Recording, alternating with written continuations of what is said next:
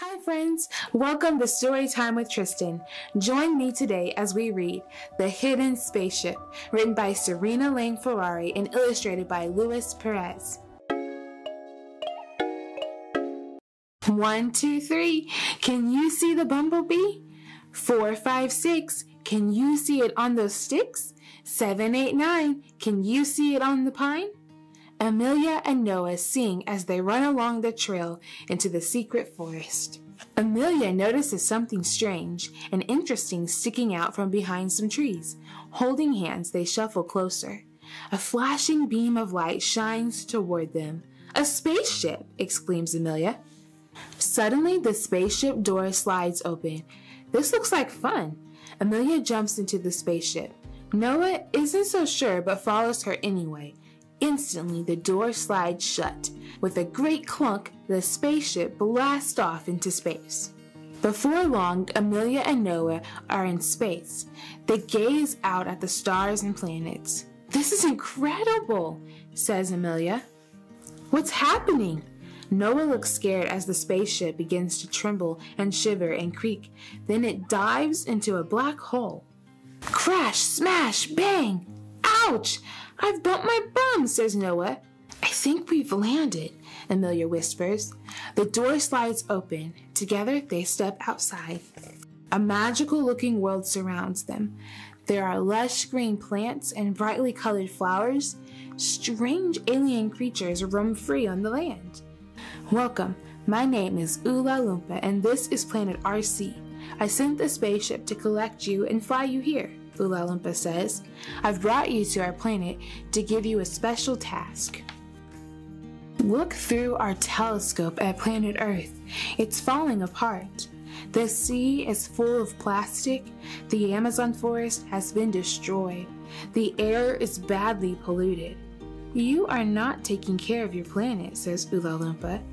But children like you from all over the world are the key to saving your planet. Us?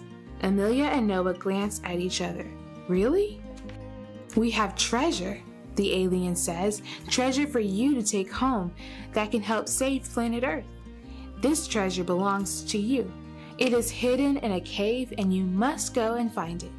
He hands them a map and two shovels. These will help you on your quest. But you must be careful, he adds. One of the animals may not be very friendly as the humans caused its extinction on Earth thousands of years ago. Good luck! Amelia and Noah follow the paths shown on the map. Each one twists and turns and takes them further away from the spaceship. At last, they see the cave surrounded by icy snow. They run, then tiptoe towards the entrance. Inside, there's no sound. There's only darkness and cold. The map shows the treasure is hidden where an X is painted on the ground. The ground is hard and heavy. They scrape and shovel and scoop until finally a treasure chest appears. Together they manage to pull the chest out. Before they can open the lid, there's a noise. It comes from deep inside the cave. The noise comes again, a terrible trumpeting. It's getting closer.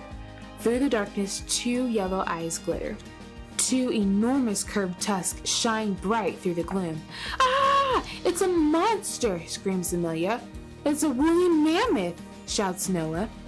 They run past Loompa, back through the magical looking world, and finally to the spaceship. There's no trace of the woolly mammoth.